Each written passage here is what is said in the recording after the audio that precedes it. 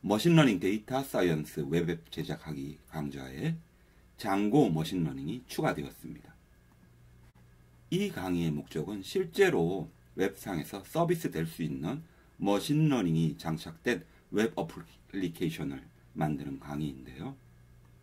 이번에 추가된 파이썬 장고 웹 framework를 이용한 machine learning 웹 서비스 만들기 섹션을 통해서 여러분들은 장고를 이용한 machine learning 웹 서비스를 실제로 hosting상에 운영할 수 있게 됩니다. 장고가 파이썬 언어를 쓰기 때문에 파이썬 언어에 유용한 machine learning, AI 관련된 여러 가지 tool이 서로 찰떡궁합으로 맞는 것이죠.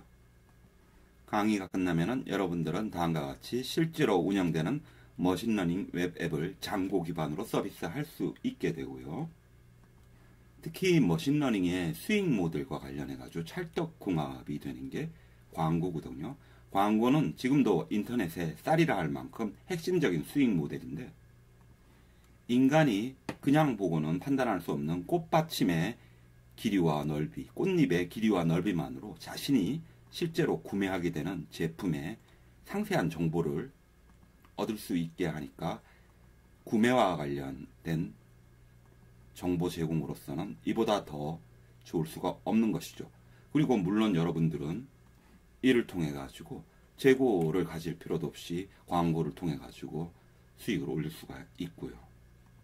따라서 수많은 제품들이 있고 그와 관련된 적절한 데이터를 잘 활용을 한다면 발전하는 전자상거래와 함께 machine learning 데이터를 이용한 판매 기법은 더욱더 유용할 것 같아서 여기서 수익 모델 부분도 설명을 할 것입니다.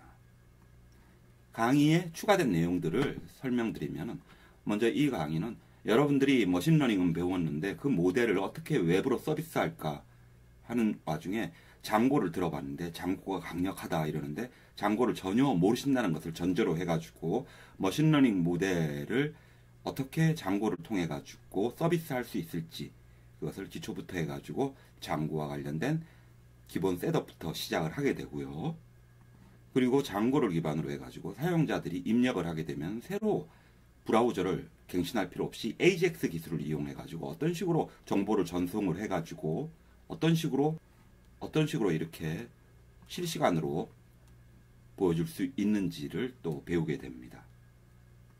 그래서 지금 같은 경우는 구매할 꽃이 Iris virginica라고 보여주는 것이죠.